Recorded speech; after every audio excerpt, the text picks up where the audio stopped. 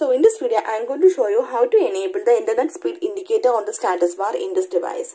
Without any third-party application, we can simply enable the internet speed indicator on the status bar in this device.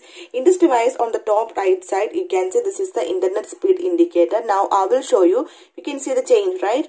Now, I will show you how to enable this one. This is very simple. Just go to your settings then scroll uh, down. Here you can see the option notification and status bar tap on it. So here you can see the option real time network speed. To enable the network speed indicator on the status bar we need to turn on this option.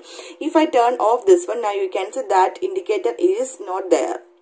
Turn on this one. When you browse anything in your device then you can see the change i will show you. Then you can see the change right so simply without any third party application, we can simply enable the internet speed indicator on the status bar in this device. So hope you guys enjoy this video. If you like this one, please like and share and don't forget to subscribe the channel for more updates. Thank you for watching. Thank you. Bye-bye.